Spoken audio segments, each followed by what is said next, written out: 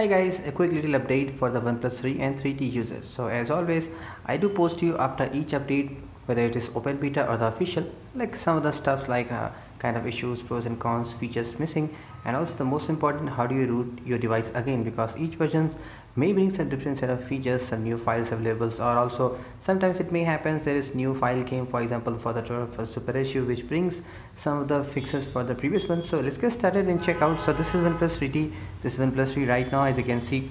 And uh, both running the Oxygen OS 4.1. 0 and also make sure to watch the open beta comparison between 12 and 3 and also uh, the for the same for the 4.0 and there is a new updated video in which I have shown you some of the missing features in the Oxygen OS so right now you can see I'm just using the multi window for the Nougat base feature. So this is my root checker basic. I'm just going to quickly see whether it is rooted or not. So as you can see my device is not rooted. So in this video I will not be showing you guys uh, the exact detailed steps. This, this is an update video. So make sure to check the playlist rooting rooting your Android phones I guess. That one I will put the exact link in the description. Go and check out. Hopefully I'm going to try out the same files if something different comes up.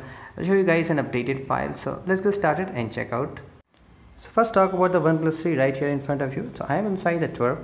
The version I am using is 3.0.4-1. This is the latest available as of now for OnePlus 3. So check the description, you will get the download link. So go inside the install directory and where you copy the Super SU, it is SR3 Super SU version 2.79.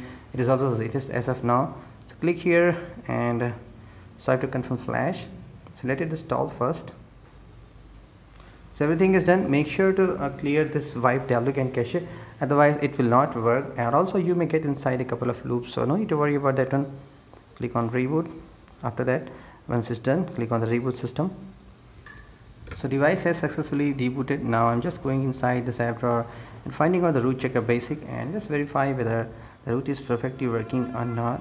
So it should ask for the permission so if after a couple of seconds you're not going to get any Super SU prompt so uh, what do you do? Close the application all right and get inside and open the super SU so now it is asking for grant permission. So what do you do here? Go inside this expert and click on the setting. There should be some entry like uh, uh, which gives you you know automatic permission launching. So let me quickly show you here default access should be grant anyway because you have installed so I believe you have done it perfectly. So this is again root checker basic click on the verify root. As you can see OnePlus 3 is successfully rooted.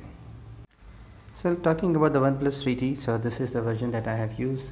It is the latest available as of now. So it is 3.2.3 hyphen 1 beta 1 on the top you can see here. So check the video description. You'll get the download link. So let me quickly focus it here. Now it is focused. So procedure is same go install directory I have copied inside this download root the same version that we have used for the OnePlus 3 we are going to install it there. Click on the swipe to confirm flash and wait it for a second. So the Super SU is installed successfully. Now important step is wipe cache and download do it here. Reboot the system. It may take a couple of seconds because it may reboot a couple of times. So we'll come back once it is rooted.